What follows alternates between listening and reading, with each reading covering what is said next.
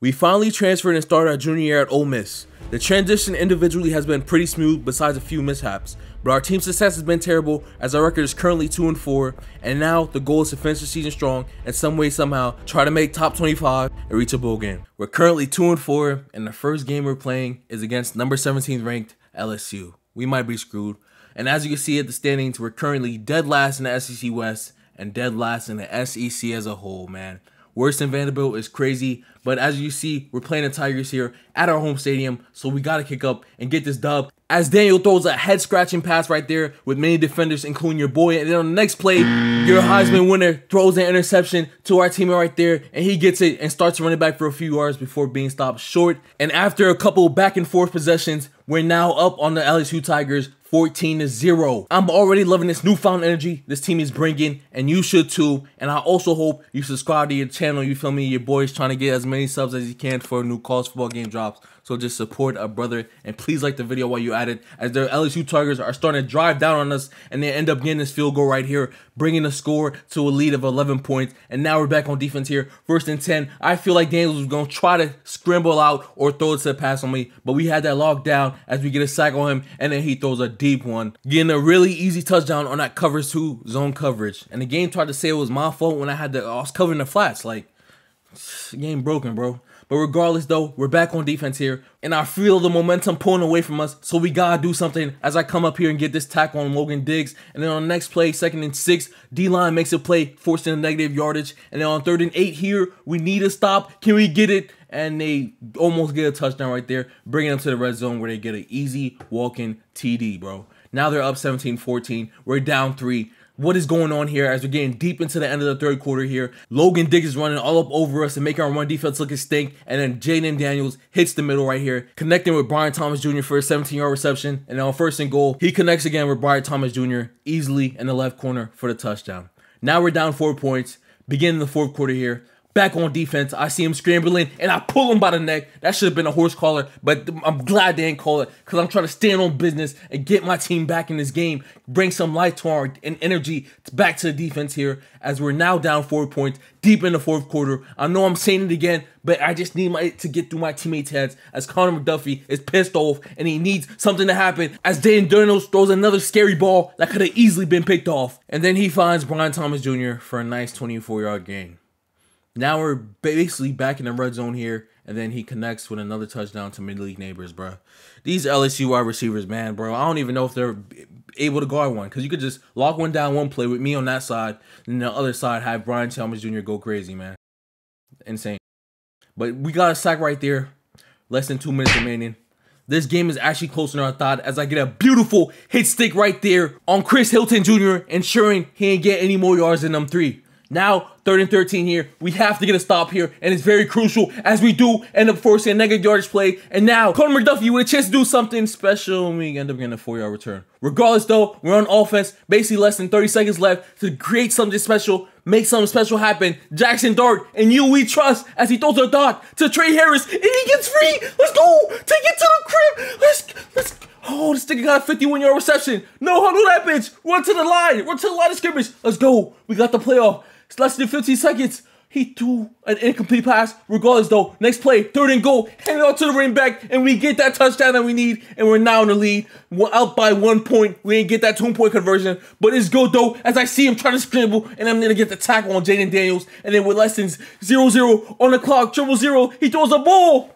And my teammate gets the interception. Let's go!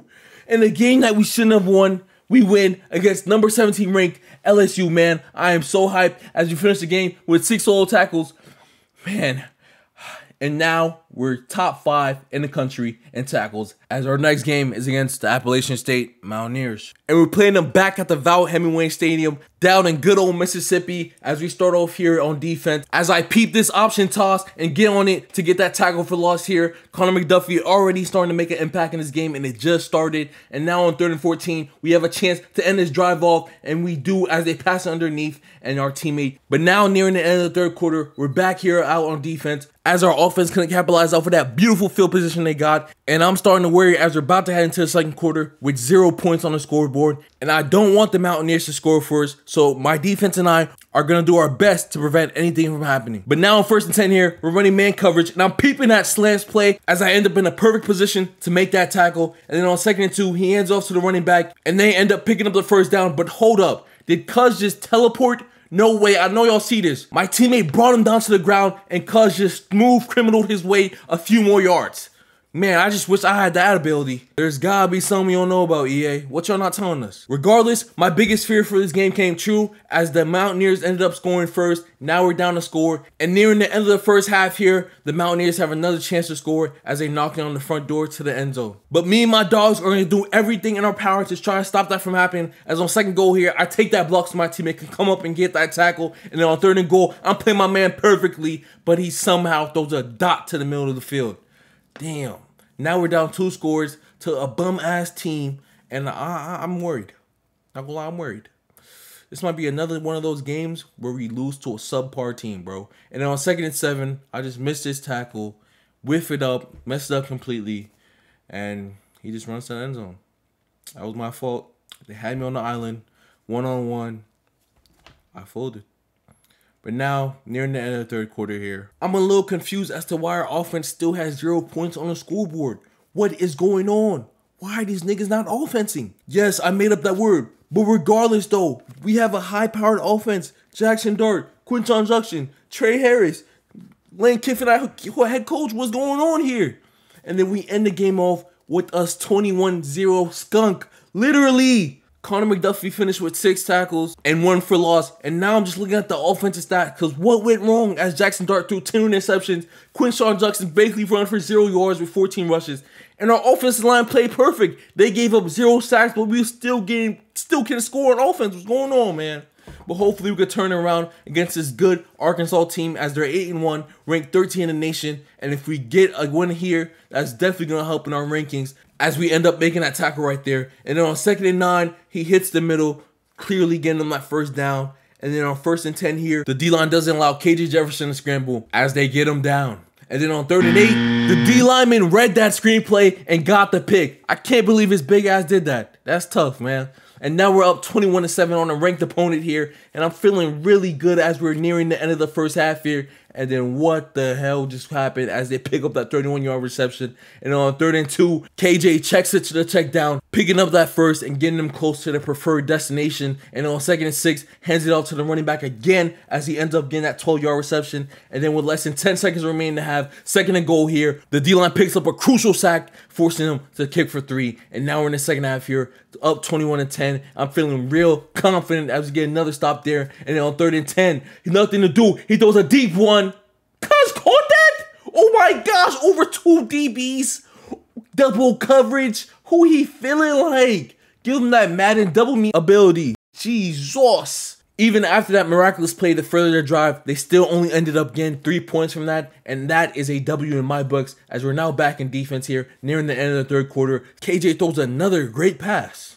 Nah, I might have to look at this nigga's stats, bro. This nigga might be nice. There's something you don't know about him. They're definitely 8 and 1 for a reason, and it's gotta be because of him as I miss out on his tackle, bro. I need to get my strength up, bro.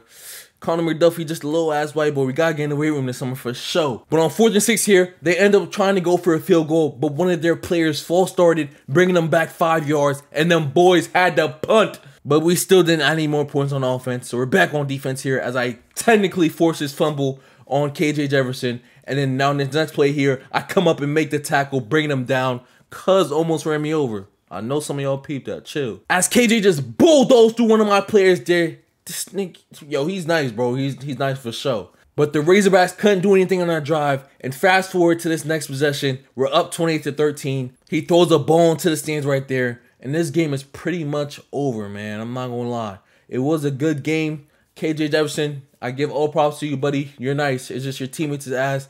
As look, look at my defense, bro. What is this, bro? Thankfully, there was a flag there on the holding, and they brought that shit back.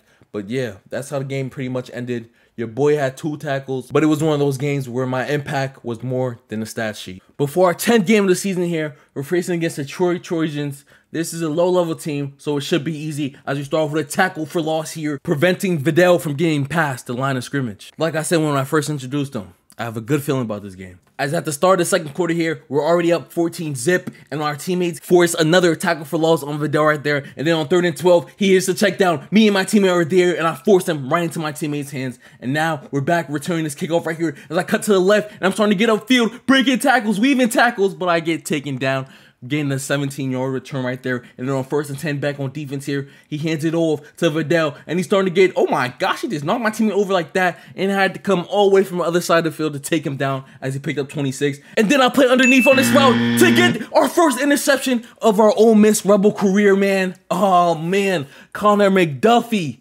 Oh, he's in his Duffy as he goes underneath to pick off that interception right there, getting that ball, picking it off what I tell you about this kid, man. This white boy is special. As we're back on defense here, currently up 21 zip, and I come down here to help my teammate make sure that we bring him down. And then on third and five, I'm covering my zone. He hits the other side of the field, and my teammates help bring him down. And I'm returning this kickoff again as I cut to the left again, and I'm weaving tackles, getting past people. But there's a flag on the play as I just got brought down just right outside the 30 yard line. And now we're back on defense here. We're still up crazy big as we're currently up 28 to 7. The boys finally put some points up on the scoreboard. And now look on the screen pass, 30 and 12. That shit's not working, buddy. As I come and make sure that he stays down.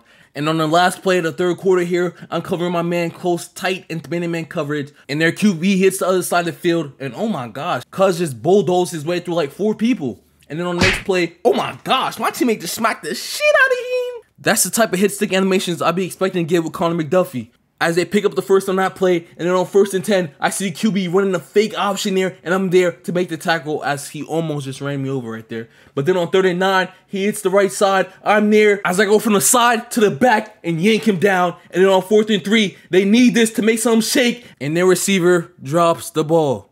Literally. As we get this easy dub right here, bringing our record to, to five and five, one more win, and we're in the bowl games, baby. As your boy went crazy, tackle for loss, interception, five tackles in total. And now we're facing a tough SEC opponent in the Missouri Tigers. And let's just say this game did not go well. I only finished with a tackle for this game. I'm going to just save y'all the boring watch and just let you know we got our ass kicked. But now for the last game of the day, and last game of the season, if we don't win this game, we're facing against the Mississippi State Bulldogs, our rivals for the Egg Bowl game. RP Mike Leach, and let's get straight into it as we're already down 0-7 as... Did I just miss that tackle? Fuck. Damn. But I still come back to make the tackle and finish the job there, ensuring that he didn't score for that. And then on first and 10, I laid a fucking hammer on him. Look at, look at, you remember those hit animations I was talking about earlier? Yeah. That boy just did one of those. As I come down here to make the tackle, ensuring that boy didn't get in the end zone. And then on first and goal, Connor plays great coverage to ensure that there wasn't a score there. And then on third and goal here, the check down cheese finally worked. But we just got to brush it off as a team and make sure it doesn't happen again as we're back on defense here. First and 10, their QB throws up a bomb and he's wide open, catches it, and that's an easy touchdown for him as our DBs just got burnt on a 71 yard touchdown. Yeah, we might be cooked as I give up this 25 yard pass here. Yeah, we're definitely cooked. Definitely cooked, my nigga. The only positive things Connor can tell the team now is we're only down by 14 and we have a lot of time left as it's not even the end of the first half yet. But our main focus and priority right now is to make sure the Bulldogs don't score again before the half ends as I come down here to make this tackle, but he still ends up picking the first down. And then on second 10 here, we're nearing 20 seconds left in the first half. I come down and get another and crucial tackle for loss there. And then on third and 12, with less than 10 seconds remaining in the half, he hits the underneath route, forcing him to kick a field goal. And down 10 points of the half, can't really be mad at that. As in the second half here, that boy is scary. He heard my footsteps and dropped that ball. And then on second and 13, I'm playing tight on my man as the D-line finally got a sack right there. And then on third and 15, he has nowhere to pass to as we get a crucial stop right there, forcing the game and bringing it down to three points here. As on first and 10, I contain the outside and force QB to go inside. And then on this next play here, I got a little happy feet and hit the receiver before the ball reached us, making a stupid mistake right there as we get that pass interference called on us. And then on third and 16, Thankfully, my teammates got a stop right there. But the offense couldn't do anything with it. So now we're in another crucial situation here with under a minute and 30 remaining and us still being down by three and they just ran all over us as the time runs out here. We take a loss, ending the season 5 and 7. Oh my gosh. We had 9 tackles for the game, tackle for loss. Just couldn't get it done as we end up being top 2 in the country with solo tackles with 54 of them and top 818 with the interception. But this is what the season slides were looking like as we come down to the final wire here. We had a pretty good season. Could, definitely could have been better, but you could say that for the whole team as we finished 5 and 7 six in the SEC West and 12th in the SEC as a whole. There's a lot of important decisions to be made. Will I be making a transfer or will I be staying for my final and senior year as the greatest white quarterback of all time? Your boy King Hinley. Stay tuned. Vote in the poll. I'm going to catch you